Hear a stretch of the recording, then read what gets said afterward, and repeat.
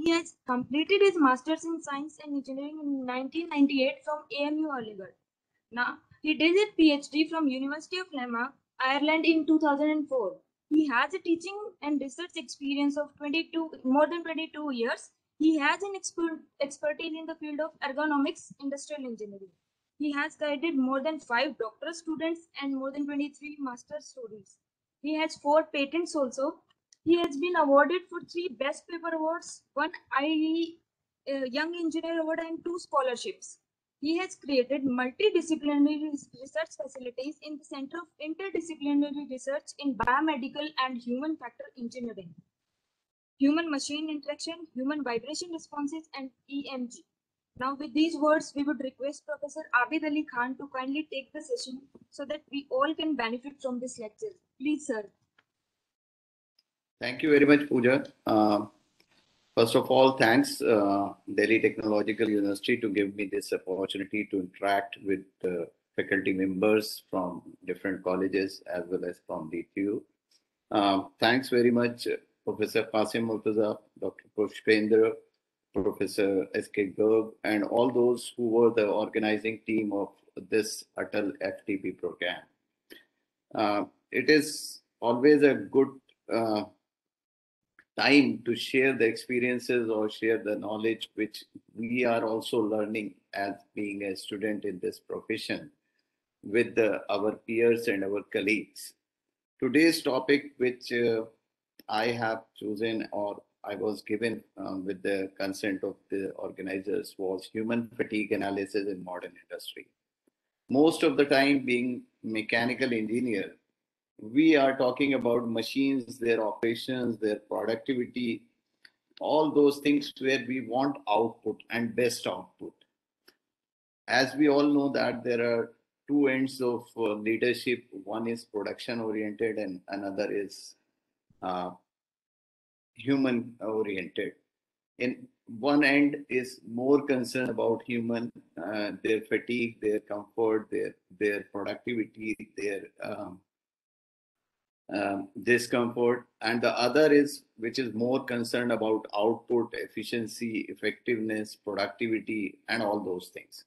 It is uh, not an easy job to keep a balance, but although we have to keep a balance because if we don't keep a balance, we are losing skill, we are losing a human, we are losing their ability, we are losing their capability, we are losing their their efficiency also when we talk about efficiency, then the the hardcore manager who were production oriented, they they slightly uh, get a pause and try to think about yes, we should be concerned over human.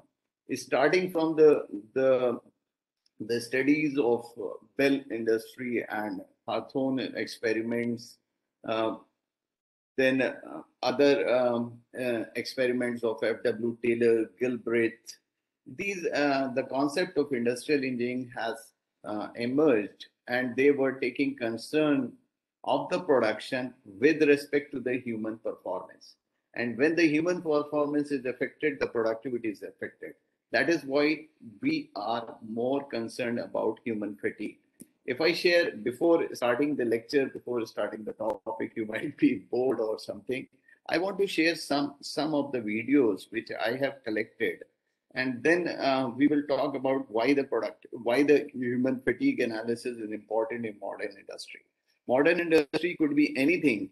It is our agriculture industry. It is our um, um, day-to-day life. It may be a factory work.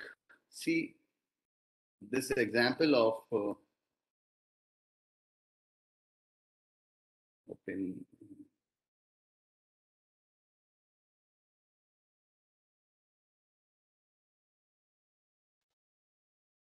almost every one of us has an experience of looking at this grass cutting operation. When you see the risk involved, when you see the, the cost human is paying from his body, his physiology, it is not a simple thing.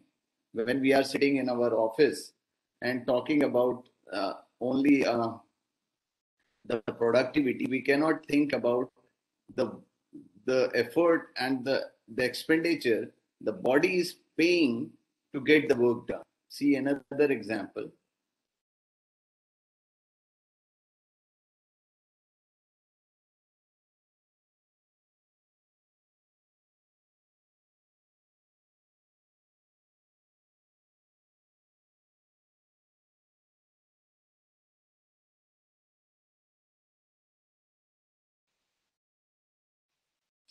I'm taking the examples of day-to-day life more than the production of the materials. You see, buns are being uh, made in a in a bakery. The cost human is paying is not in a small cost. The only thing is that we are concerned or not that matters. Whether we are concerned about human body or not. But the cost he is paying being exposed to so much heat so much frequency of work so much load that is that is not not an easy thing. The body is under stress and strain. We can see the work of construction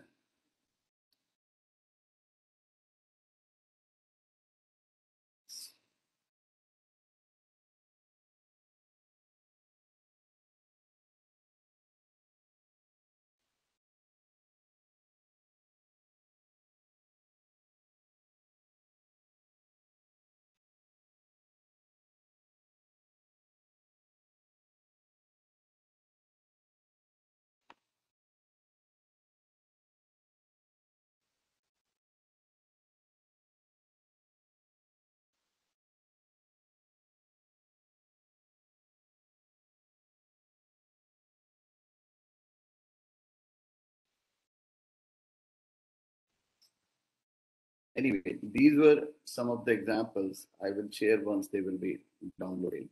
See here the construction work going on in a building, and the workers are exposed to hot weather, workers are exposed to heavy load, workers are exposed to a repetitive work. And see, the task they are doing is not a simple task. Uh, even we cannot understand, we cannot have a feel of the pain what they are taking to build up a home the pain what the cost they are paying is quite high. But we could not understand because we are only thinking about the bags of the cements. We are thinking about the wall is lifted. We are thinking about the linter is placed. But the cost is being paid is quite significant. The cost is being paid is a is a cost of life. Cost is being paid is a cost of efficiency. Cost is being paid of the cost of a skill. Because if we talk about the glass industry, the worker become inefficient after five to 10 years. So it means the very heavily required skill is being lost. This is hardware industry. You see in Aligarh, the worker is sitting on shop floor and doing the task.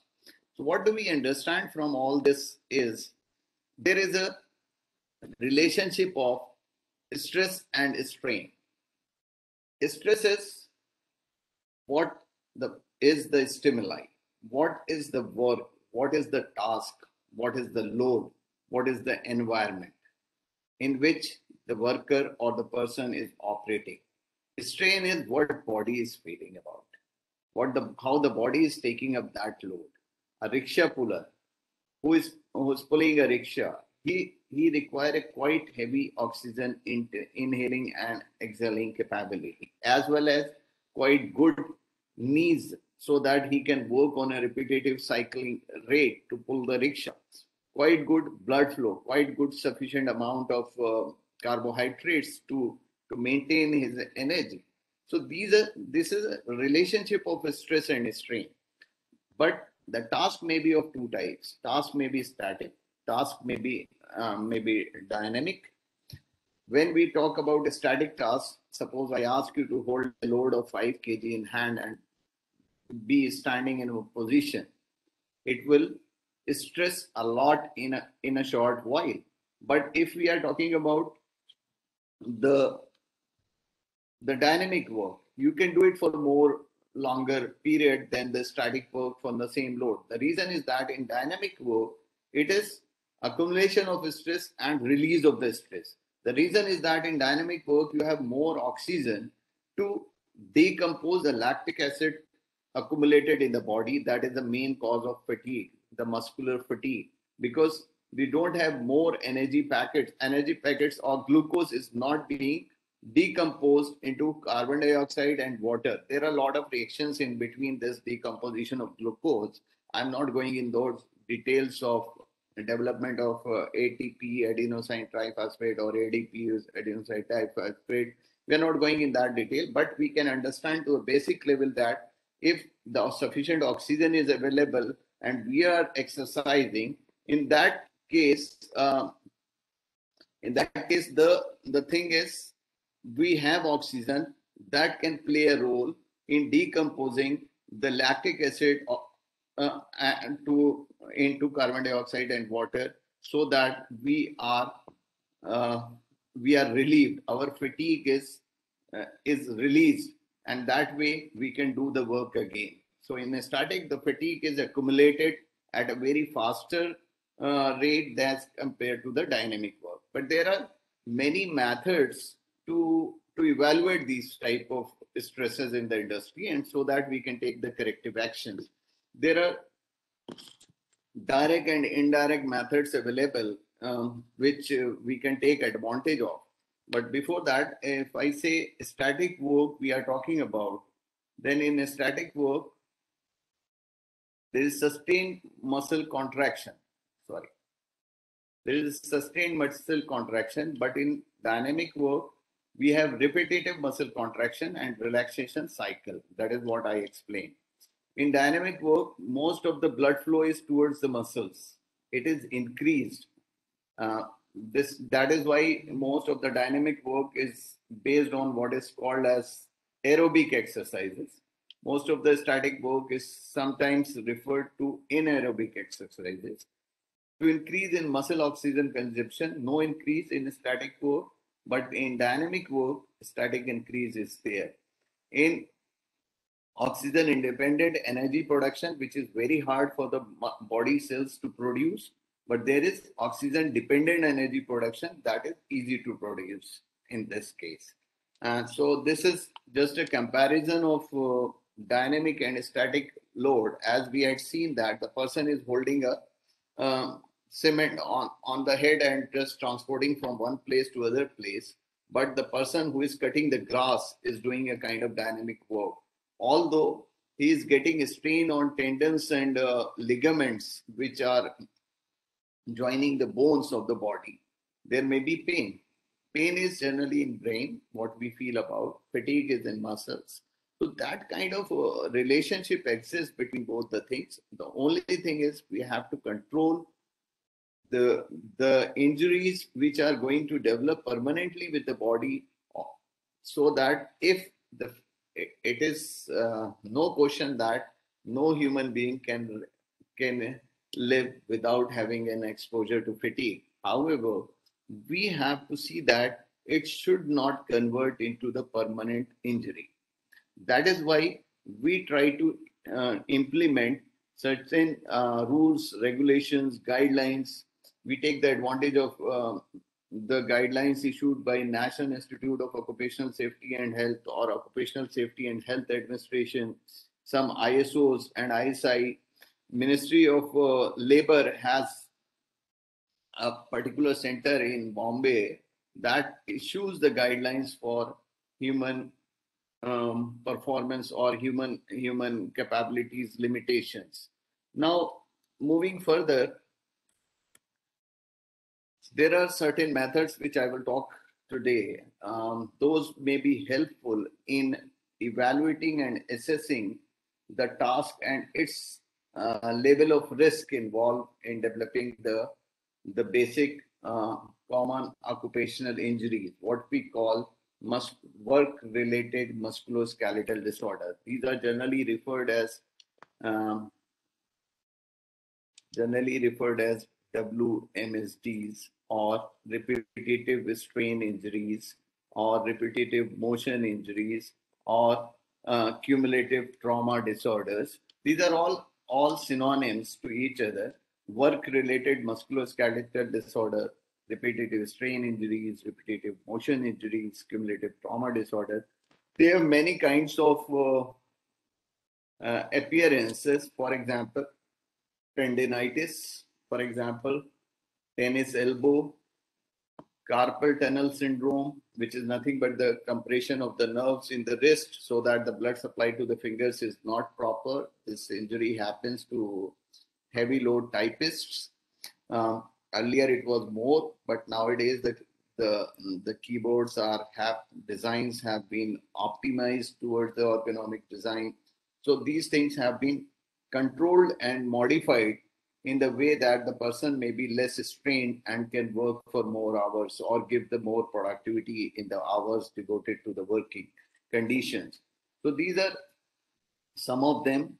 But uh, when these uh, uh, these injuries have certain uh, what we call factors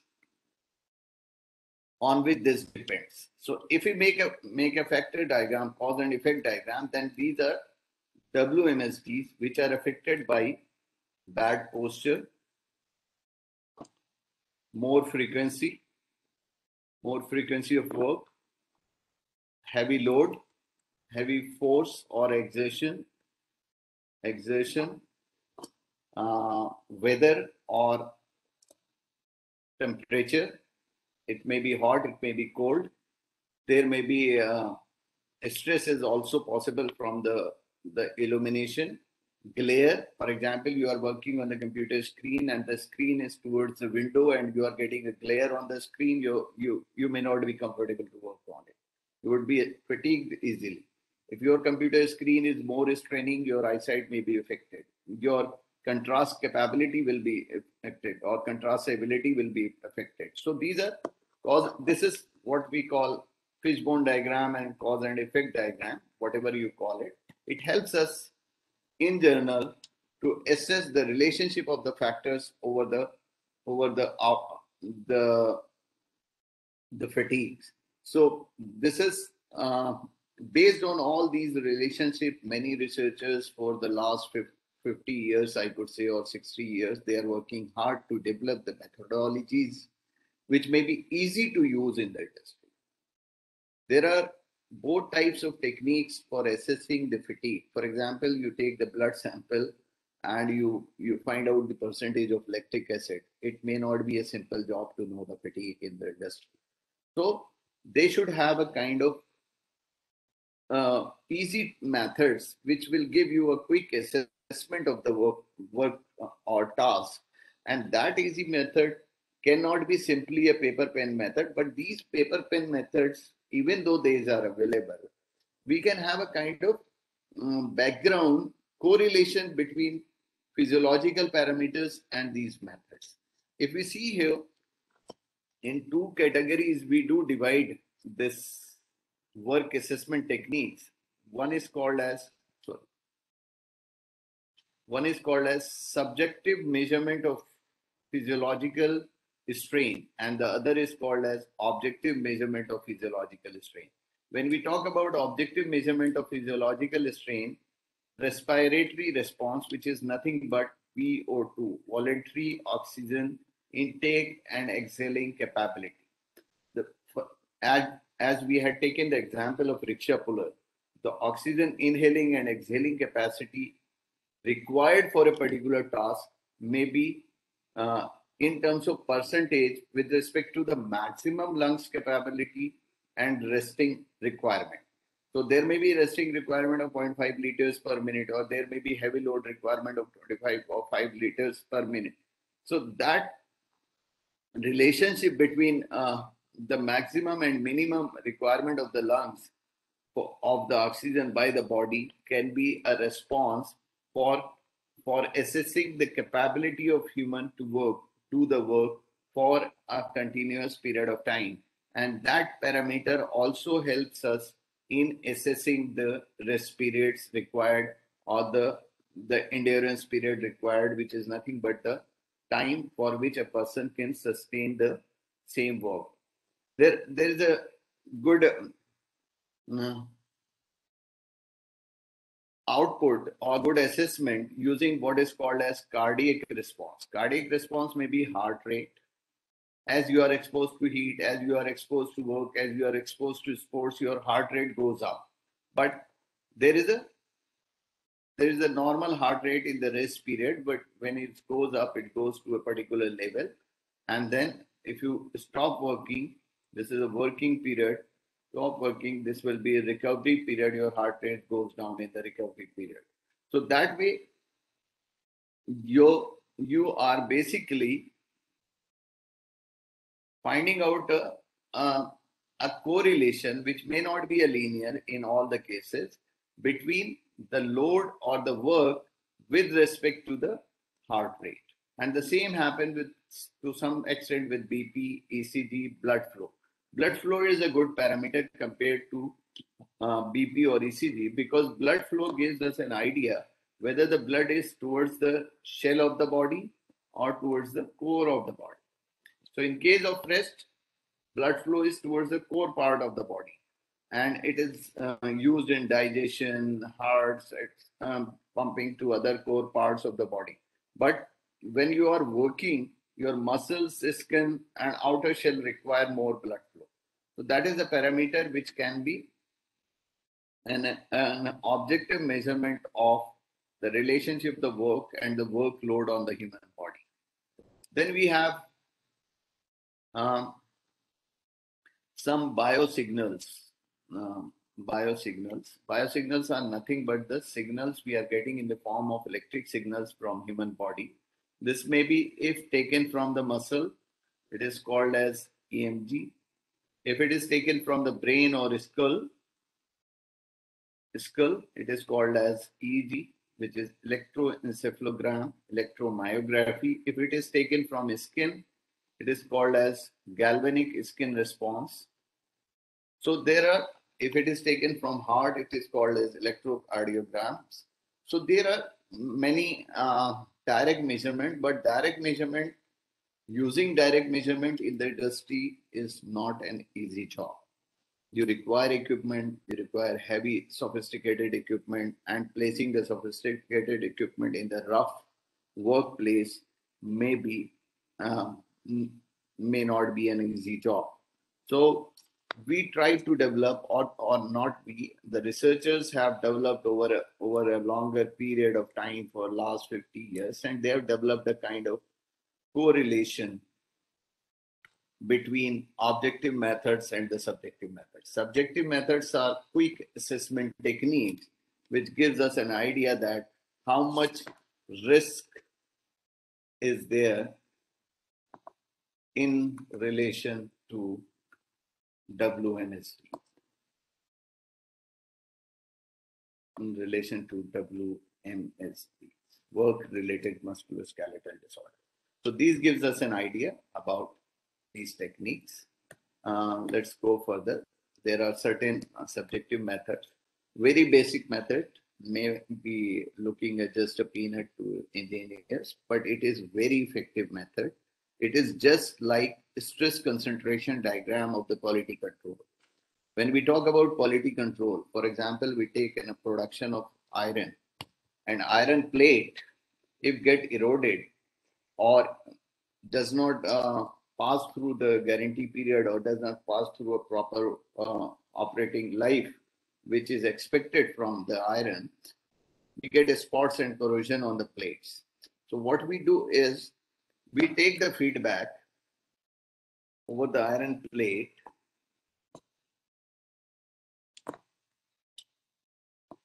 and we ask the consumers, we ask the buyers, where do you get a, the problem? If someone says here, someone says here, someone says here, someone says here. So what, what happens in this case? In this case, we uh, get the point of concentration of the problem. This is concentration diagram of quality control. If we see in relation to this quality control technique, uh, our Boak's uh, Corlett and Bishop body discomfort map, this is nothing but dividing the body into certain regions. When we divide in the body into certain regions, we have highlighted the points here. One, two, three, or like this, the regions are divided. You, you can ask the workers at the end of the working time, or working duration, or working day, or assessment period, you can fix up a five minutes time giving for a work. Then the worker can identify where does he get a pain, get pain. So the point of pain will be identified, for example, neck. Someone says shoulder, the other says back, you can have front and back also. The other says neck, neck, neck, neck. Someone says shoulder. So what you will get? from out of this, the assessment is that the discomfort zones are neck, shoulder, and lower back. So by this idea, by this way, we can find out the point of problem. And if we know the point of problem, we can make necessary correction. If suppose you go and assess an office and you find a problem in the shoulder, what we can have an idea. We have to look uh, microscopically to the work uh, workplace. And then when we see the workplace, sometimes if take computer workstation, you may go to a bank, you may go to um, an, any any other office where there are cubicles all around and the persons are working on computers. You will notice that the persons are having mouse very far away from their body. They are not having um, a tray they may be having a tray for the keyboard, but they they they may not having the tray for the for the mouse over there or the space within the tray for the mouse. So mouse is quite far away and our hand remains abducted for longer periods. When hand remains abducted for longer periods, there is a static strain on the on the shoulder. So you can assess the the workstation and you can give an idea where the problem exists. And that point of problem will be picked up. And if the point of problem is known if if the reason of the problem is known then half of the solution is obtained. So that way and the rest of the job is of all what we call of the mechanical engineers so this way we can reach to the point where the solution may be available see another problem uh, another uh, method subjective methods here that is called as Borg's rating. It is very old method. In 1960s, he tried to develop a correlation between um, heartbeat and the, the rating. So that rating was modified over the time, but this relationship between heart rate from 60 to 200 was correlated to 60 to 20. But later on, this, this technique was simplified and modified to a very standard technique. This is a very standard procedure. Standard procedure and quick, quick uh, way of evaluating the the exertion in the task.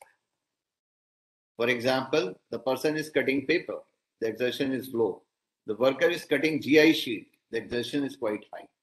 So that way you can know what is the level of exertion in, in this. So if the person identifies six, it may be a quite a strong exertion level.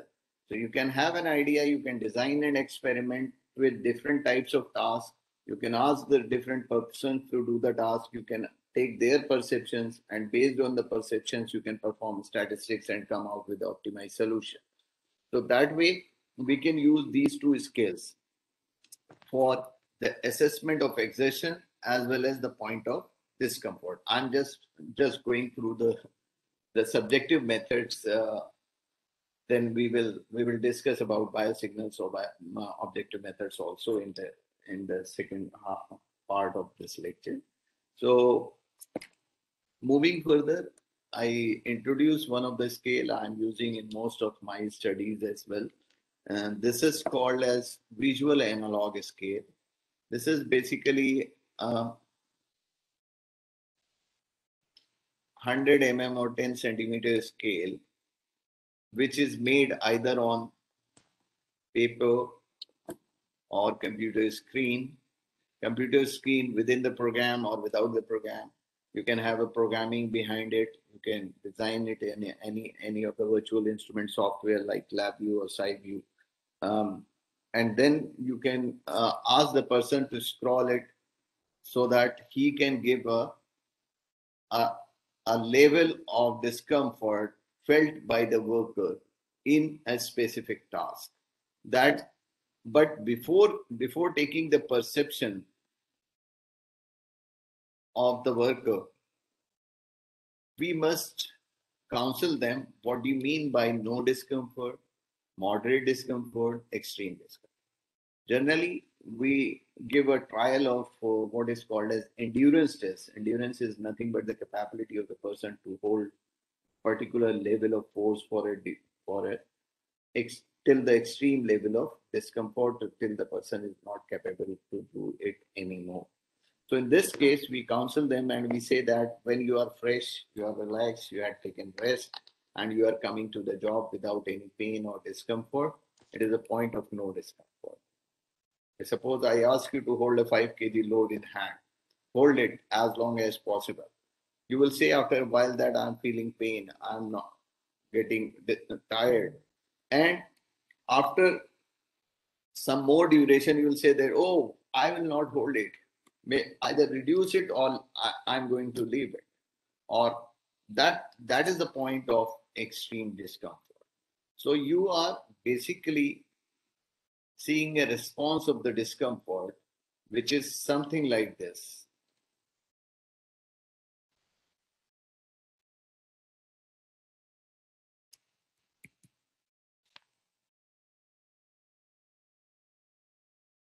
This is this is a kind of uh, discomfort where we find out what is called as endurance time. So this is this way the discomfort goes up. This is discomfort. And this is holding time. This is a Rohmert's formula, which gives us an idea to calculate the endurance time with respect to with respect to the percentage of maximum voluntary contraction or maximum voluntary capability. For example, the person can apply a maximum grip force of 700 newtons. So endurance time is, is suppose the person is allowed, uh, is asked to do a work at 400 newtons, then what will be the endurance time? So 400 is nothing but 4 by 7 ratio of the, of the maximum capability. With respect to that, using the Rohmert's formula, we can find out the endurance time. But all these are correlations based on the experimental studies done by previous researchers. And still, these techniques are very well accepted, very well used in the industry because they are quick to use. Another organized method uh, is called as rapid upper limb assessment. Generally, this method is used when there is a static work. As we go back over pictures and we see the work.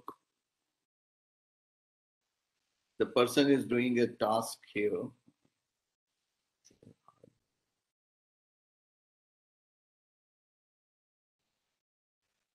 See here. A person is doing a polishing work. You can see this is a hardware. The the outer body of the mortise lock being uh, polished here. The person is sitting in a very odd posture. You see the curvature of the back, which is kyphotic. It's not lumbar lordosis, which is recommended. But anyway, there is no option. You see the angle of the back and the the um, uh, thigh. Then you see the angle at the knee.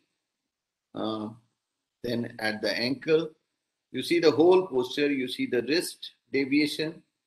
All these points are the stress points there. You see, these are the stress points.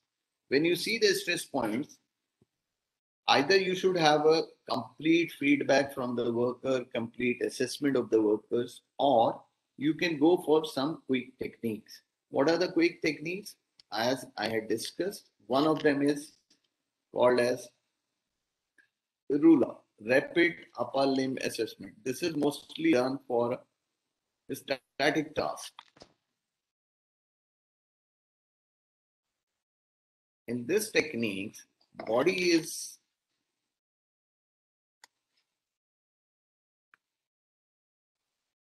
body is considered into different postural deviations. One part is arm and wrist. The other part is neck, trunk, and leg. In this case, if the person is having arm in the working uh, in such an angle, this angle, then they give a, they want us to have a score of stress as plus two. If the person is working in this situation, which I told as a case in somewhere welding or overhead drilling or overhead screwing work, so in that case, the person is working in these zones where you have to give a stress score of plus 4 with respect to the upper arm position. And that score will come over in this region. Same thing happens when you consider the lower arm or the forearm of the body. Then in that case, you can give the score accordingly. Then you can give the score according to the wrist posture then you can add the whether the wrist is twisted either this way or supine or prone, because in these cases both the bones are crossing each other, adding to the stress. So we will have a score up here. Looking through the three scores goes to this table and we pick up a particular point that goes up here. We add whether there is a muscle load, force, frequency, etc. And we get a final score of the wrist arm over here. For example, 4. The same thing for the neck. If your neck is flexed forward or extended upward, that that may be the case in. Uh, I could have some videos for uh, which, if I find time, I will share.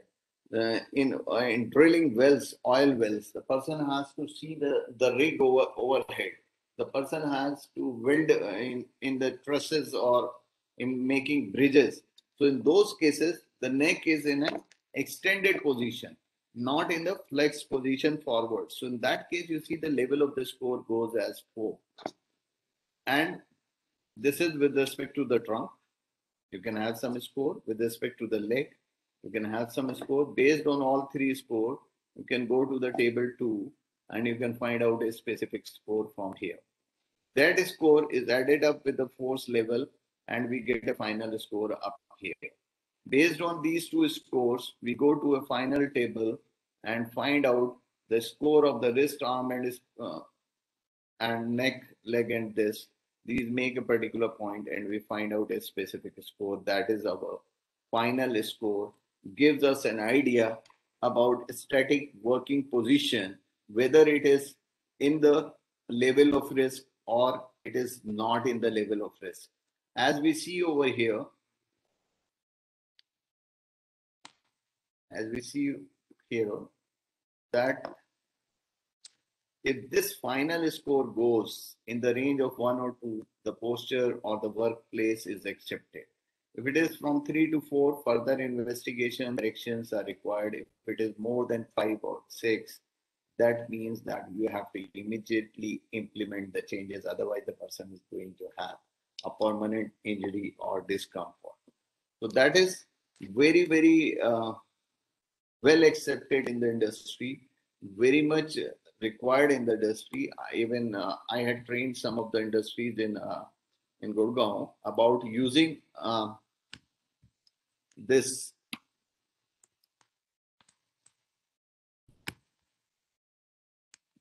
using these techniques on the shop floor because if you use these techniques on the shop floor, you will quickly assess the level of risk involved, whether it is going to be in a permanent loss or going to be in a short-term discomfort. Then we have another technique, which is for, for what we call repetitive work. There may be two kinds of activities by the worker at shop floor. One is static, mostly static. It may not be purely static but some of the activities may be very repetitive in nature. For example, packaging on a production line. For example, screwing the the um, the cap on the bottle on the assembly line. For example, screwing the uh, screws in a in a making a fire alarm on the assembly line. The person is doing the task at a very repetitive rate. Posture is mostly comfortable, is uh, sitting on a very good, uh, you can say, uh, table, chair, etc. But but the person is doing the task at a very high frequency. Maybe loading and unloading the things. For example, the person is loading the, the crates. For example, the person is handling some some uh, package. So in that case, there are certain factors which were identified by Garg.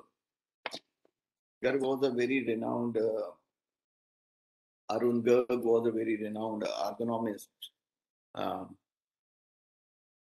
Arun Garg, who developed this technique. Uh, and this um, technique is uh, recommended by National Institute of Occupational Safety and Health, USA. And this technique is for assessing the risk in repetitive tasks. But there are six factors which you have to identify the level of the factors involved in the task. Intensity of exertion. It means that whether you are cutting a paper or you're cutting a sheet, so intensity will be changed. Duration of exertion, how long you have to go on the strip, how long your force is engaged, effort per minute. This is a cycle frequency, which is effort per minute. Hand wrist posture, whether the wrist is more deviated or wrist is less deviated. If if we are having a posture of handshaking, that is almost considered as a neutral wrist posture.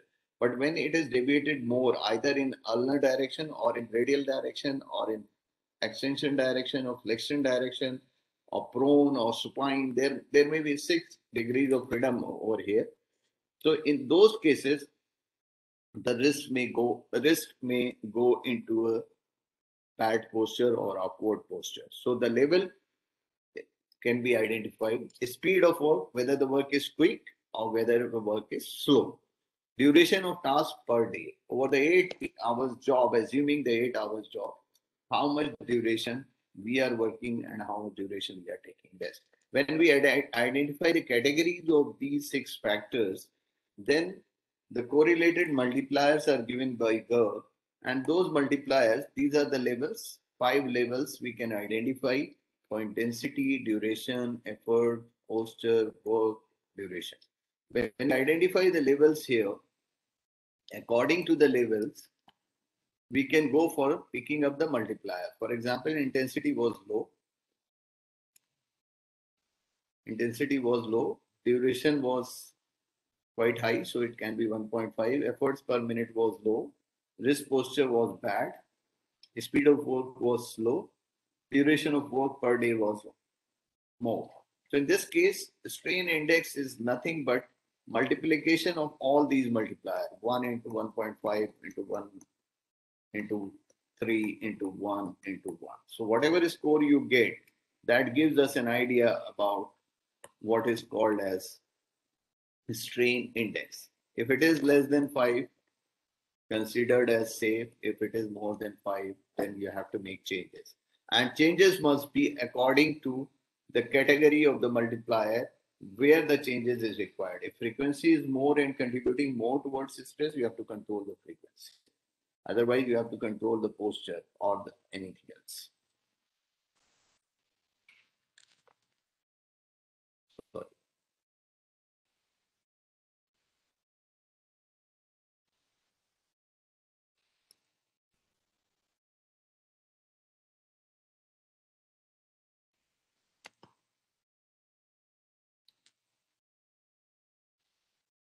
So now um, we will talk little more about um, manual material handling, which is a very common problem these days because lower back pain in second main important reason for disability after Alzheimer's.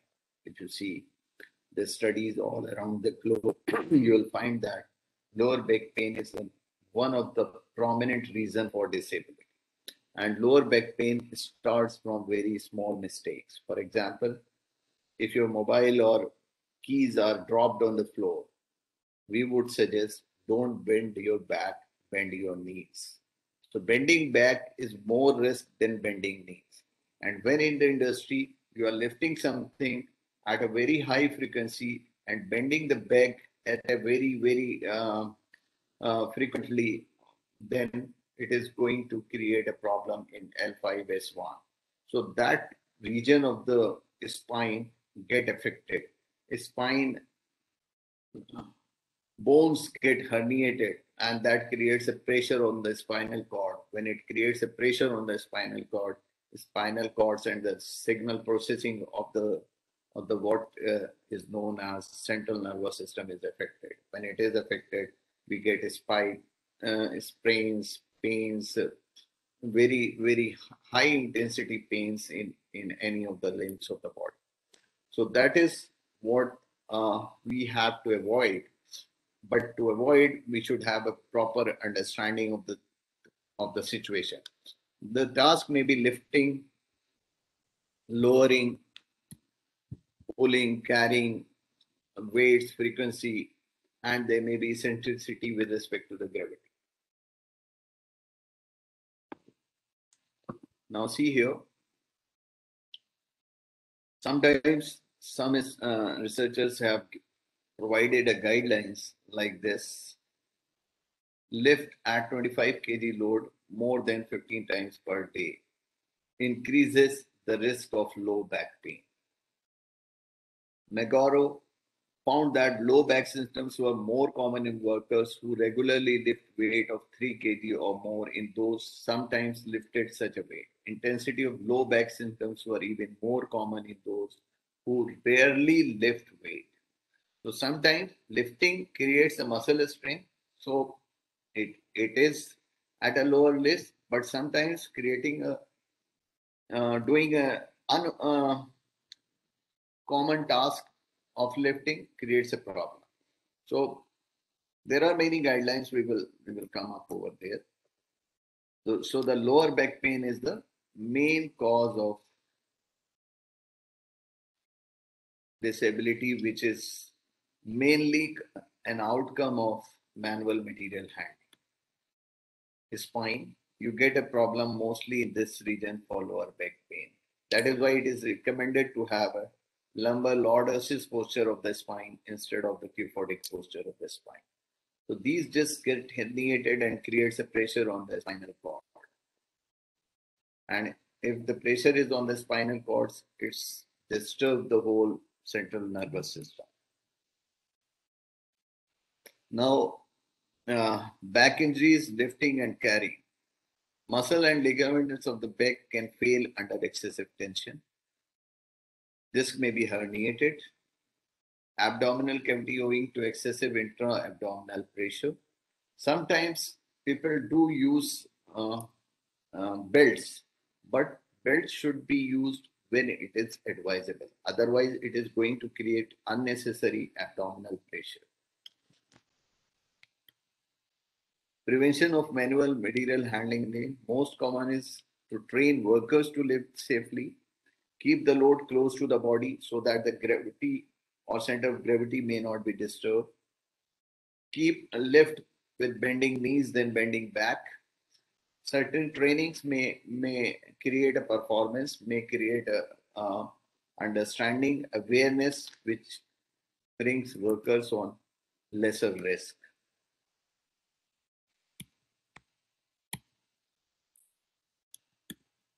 So,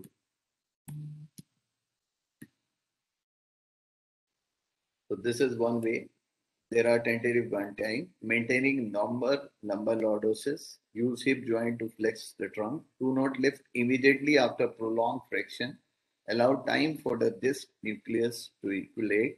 Avoid lifting shortly after rising from bed.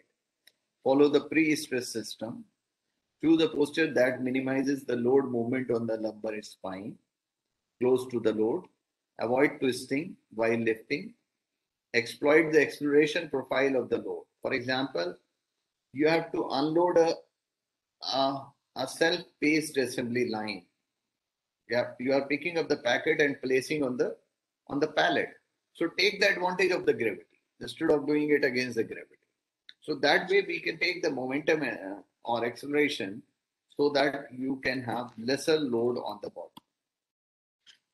There are many job risks. Every day we see the supplier of water coolers and supplier of the, the gas cylinders. if you watch the posture of the person supplying gas cylinders or the water coolers or water or water bottles to every shop every day, you can see the number of workers involved all around our country and the number of workers affected and disabled due to lower back pain. The quantum is quite high. I don't have exact statistics, but I can say that this is the job affecting the person too much and making them disabled in a very short period of time. But because they are not aware about it, they are not trained uh, in doing the things properly, they are not well equipped to do it on a lighter load, it the problem is uh, increasing day by day. And the number of workers involved in this industry is too high. We can see that. You can feel all around your own day to day living. There are many factors which can affect the performance of lifting gender, anthropometry, uh, weight, uh, body mass index, techniques, etc. There's one technique which is called as NIOSH lifting index. It gives us an idea that what should be the level of load for a particular type of lifting. You are lifting from one origin to one destination. There may be origin, there may be destination where you are lifting the load at a particular frequency. If we do this, there is a technique available which is based on three basic approaches biomechanical, assuming the whole body as a mechanism, physiological, the capability of the human body, psychophysical, the perception and perceived pain and discomfort of the human. So these three approaches are come, clubbed together to find out a quick technique that is known as NIOSH lifting equation. Through lifting equation, we find out a recommended weight limit as well as lifting index. So these two things we take out from this techniques uh, by having a multipliers of uh, load constant horizontal distance multiplier, vertical distance multiplier, distance moved of the for the load, asymmetry, that is nothing but the twist in the body, frequency multiplier at what frequency the worker is doing, then the coupling, lifting the load, whether the proper coupling is there or not. If we remember the old days packaging, there was no cutouts in the cardboard boxes. So person had to lift a bigger boxes, either two persons are lifting or one person is lifting hand affected or so long. But now the, the boxes of TV, fridge, and all those things have some cutouts so that you can lift it easily. So that way, the coupling quality is changed.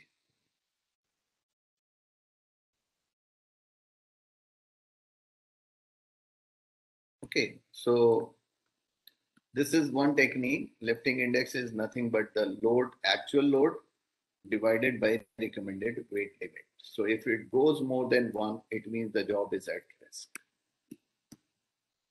So these are, this is the graphical representation of the parameters. How do you pick up from this for this technique? Asymmetry. There are, uh, I think these were all about or maximum uh, common techniques used for the fatigue assessment of work measurement subjectively had been discussed have been discussed now. Now moving further to what is called as direct measurement objective measurement which is mostly the the research topics but not the direct application. It is mostly used in research because using biosignals we can get microscopic uh, analysis of the of the strain in the body. So strain of the body can be microscopically or directly analyzed using the biosignal. Biosignal can be electrocardiogram biosignal may be uh, um, your electromyogram it, it may be electroencephalogram. So these are three common biosignals, although there are many other biosignals also. Um, so we, this is respiratory response. I just gave you idea that when you are at rest, your oxygen intake is very low. When you are working, your oxygen intake increases. But when you start at rest, still you take long breaths because that is the deficit over here, which is compensated over here in the recovery. So that is a profile of aerobic power or aerobic pattern uh, what a particular human being can have.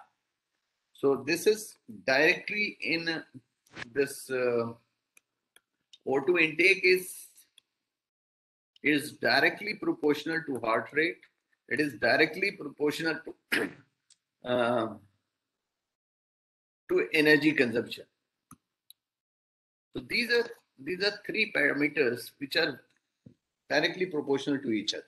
So we can take one any of them, and there are some expirometer or respirometries available, which can give you the the exact amount of oxygen inhale and exhale by the person. You can put the mask over there, you can connect it with the oxygen cylinder, and then you can have the respirometry or test.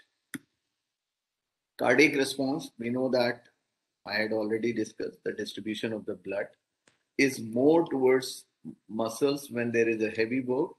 It is less when there is a rest. If you see the muscle and skin, the profile is reverse as the digestive system and heart, kidneys, etc. So this is maximum aerobic power. Is different for for different genders. It is different for different age, and that's why we are advised to do yoga, we are advised to do breathing exercises so that we can increase our aerobic power. So, yoga is also good for increasing the aerobic power because we uh, we try to uh, cure the construction of the lungs. We try to cure the the the oxygen capability of the lungs, etc. Now, this is very important signal in ergonomics, um, which is called as electromyography. This is nothing but muscle response.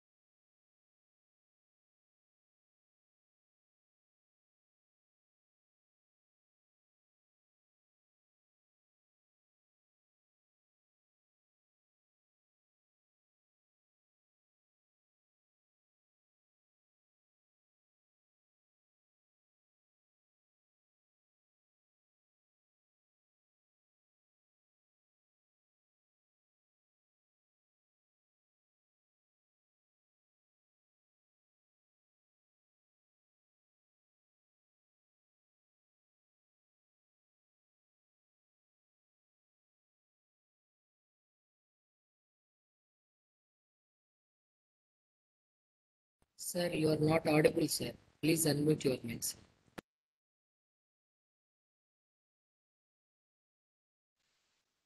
Okay.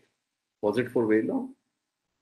Oh, so, so this is our EMG signal where we are considering the the the muscle activation. When muscles are compressed and expanded, we get electrical activity here because of the recruitment of the motor neurons, which are excited due to the connection with the central nervous system and information and the load on the muscle.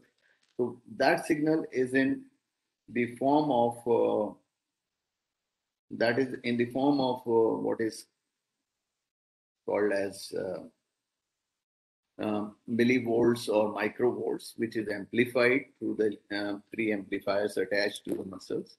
And those signals have, uh, this is motor units, which are giving the, the command and the muscles are excited.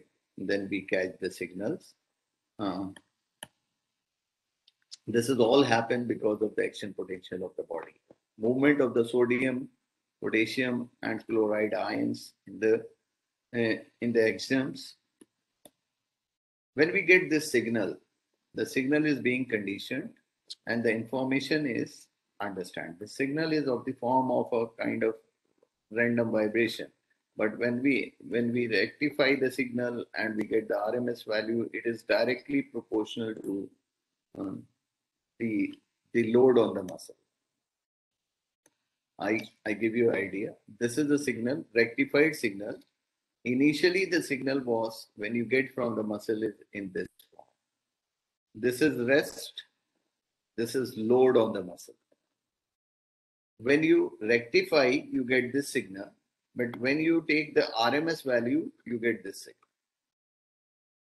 This is rectified signal. This is an RMS signal. This is in direct proportion to the muscle load. If the force is more, the signal's amplitude will be high. If the force is more, the amplitude is high. When, when there is a fatigue, then amplitude will be high because muscle will want to contribute more towards the more load. But the frequency of excitation of the motor neuron goes down as the fatigue developed in the signal. So that is an important phenomena which we should understand that from one signal what we can get an idea so this is transformation from this is transformation from time domain signal to frequency domain signal when the muscle is contributing more the signal get thicker amplitude goes high when the muscle is getting fatigued, then this power spectrum of the signal shifts towards lower side. So the frequency go of the signal goes down. That is a prime indication of the fatigue, which we will see in the next slide. See this here. This uh, reduction of the the frequency of the signal is an indicator of development of the fatigue in the muscle. Now these two parameters we um, there are many features in statistics or biostatistics which you can apply to understand the properties and uh, and phenomena of the signal, behavior of the signal, although these two parameters are very important here. One is RMS amplitude, that is a direct proportion of the effort, and the other is the change in the median frequency of the signal when we convert the signal into the frequency domain signal. So now these two parameters we can exploit to use for understanding the working conditions. I'll take you to, to a study where we tried to redesign the handle of the chainsaw. And when we uh, redesign the handle of the chainsaw, this operation of wood cutting required the expo uh, uh, creating exposure of vibration load, awkward posture, all these parameters were over there. The wrist was bent, elbow um, was uh, having a particular angle, and the stress of uh, vibration. So when we redesigned this handle, what we compared the existing um, tool with the modified tool, then this was the modification in there. What we did, we captured the EMG signal from here. So this EMG signal in the existing uh, tool and in the modified tools were compared and we try to find out whether for the same given task, whether the signal was improved or not. Now, you see application of uh, wood routing task where the person is doing either bedding work which is just creating a corner on the wood or creating a design in the wood So in that case, this wood router is exposing a very heavy uh, awkward wrist posture as well as exposure of vibration from hands to chest. So, and see the posture over here. This is quite quite uh, stressing to the worker, and that's why we require the assessment. And when we require the assessment of such type of task, we do require the the application of biosignals like EMG, ECG, etc so that we can understand how body is feeling. Perception is definitely high, but we can also know that what the level of fatigue in the muscles are. So in that cases, we did, uh, did the comparison based on the feedback from the worker, based on the vibration level measurements, based on the posture measurement, based on the uh, EMG measurement, which is nothing but the electrical activity got from the muscles as a signal based on the noise over there. So these were the parameters. Based on that, we assess this task and we perform the study. So some studies were selected in this. Uh, some muscles were selected for the study and these muscles signal were captured and the further things were done accordingly. Now take you uh, to three studies over here. This is in one chart, the same study is in one chart. What we did was got the perception using the visual analog scale as well as the Corlett Bishop body discomfort map. Second was using the accelerometer, we obtained the vibration level exposure to the hand using ISO 5349 standards of measurement of uh, hand arm vibration. Third one was electromyography. The electrical activity of the muscles were recorded. So these were three measurement instruments which were used in this study. Task were either bidding or dado task, which was a creating corner. Based on this, the redesign of the router handles were made. Some interventions were done at different angles. Tasks were analyzed and based on EMG parameter, based on discomfort, based on the experience of the worker and vibration level, the, the modified optimum design was proposed in this study. Another application of EMG was in prosthetics and uh, rehabilitation. So in this case, sit to stand task is a very difficult nowadays for old age people especially more than 65 years of age. They get knee problem developed over the time. But uh, we try to find out the the understanding of the signals of uh, upper leg and lower leg muscles calf muscles and um, uh, other muscles of the legs which gives a bicep femoris or vastus lateralis muscles were considered in this uh, study. Applying this, uh, the signal processing, the load on the surface force plate was measured and the person was asked to do the sit to stand task. If you see here, if you see here, the person was asked to do sit to stand task and different body measurements were recorded. And these body measurements were used to understand the phenomena when the triggering of the muscle activation takes place. And accordingly, the, the, the motors may be designed to give the support torque because person can put cannot put the 100% of the torque required to do the standing um, job or from sit to stand operation. So in that case, you require some support torque. But when to do the support torque, what level of support torque has to provide, this study guided us in doing, doing the things. So this was the experimental setup where we had measured the, the response from leg muscles, cardiac response, EMG, and all these were interfaced to understand the the behavior of the signal which was useful for uh, for designing the support system. Uh, this is just a mechanism design which can be used after uh, controlling the EMG signals. This was a pneumatic powered uh, support, uh, which may be optimized based on the signals obtained from there. Now, uh, now this, uh, I'll take you to an idea of industrial study done uh, in hardware industry of the river, where the worker was doing buffing, polishing task, and their assessment using the discomfort map was made, and it is found that lower back was at very high. If you see here, lower back was quite high over here.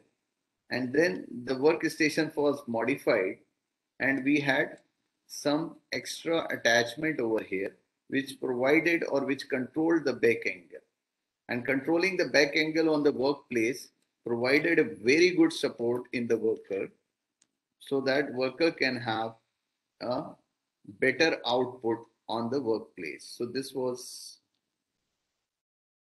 this was modified workplace and working on the modified chair. This is simulation as well as practical study where discomfort was mapped. This is simulation done in HCAD software where mannequin was was placed on the designed virtual workstation.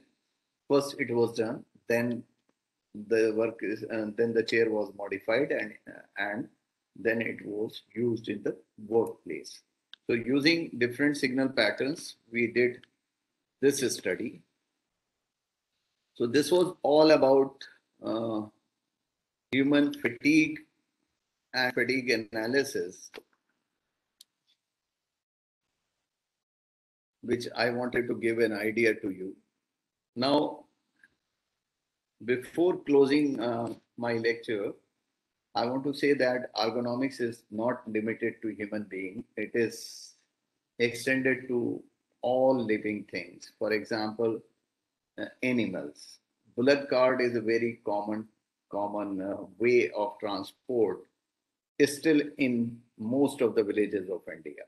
So animal is also precious to us, and we can see the the conditions. One of the study which I share in this ending of the lecture that it is redesign of the Bullock cart redesign of the uh, the harness of of of bull so harness redesign is one of the initiative towards uh, animal ergonomics. So i'm i'm closing my chapter on fatigue assessment in the industry and giving a further idea that not only human beings animals may require the implementation of ergonomic principles so that their life may be or their efficiency can be can be obtained better efficiency can be obtained. This was all from my side. If you have any question i'm here to to answer as much as i could thank you very Thank you much so much, sir, for thank your valuable words. Uh, party participants, now you can ask questions if you have any doubt.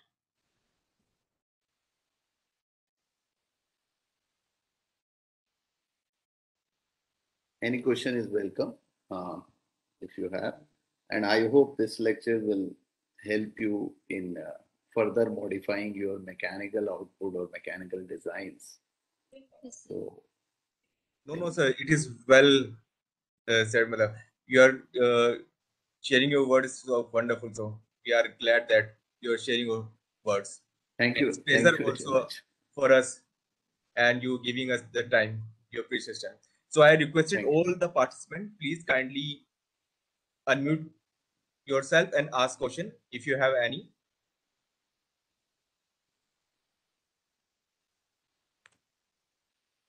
Even if you have questions later on you can send me email i will try you, to respond Okay. Thank you so much, sir. Okay, Thank you so right. much for you. thank you such a wonderful session. Thank you, sir. thank you good Thank luck you, sir. Thank you, Pooja ma'am. Thank you, sir. thank you Pooja. good luck Now our next session will start at 11:45. So I requested all the respected participants. So be online or come at 11:45 for the next session. Thank you so much. Thank you. Thank you so much, sir. Thank you so much.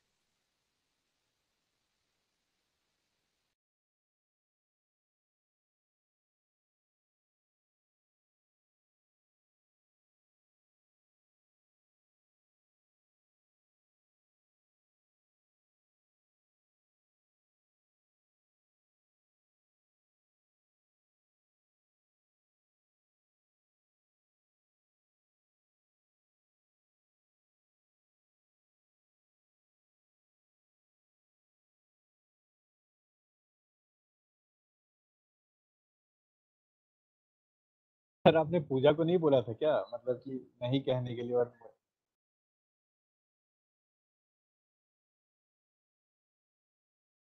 इसलिए इसलिए मैंने अपना video on कर लिया था ताकि पता चले कि मैं बोलने वाला हूँ।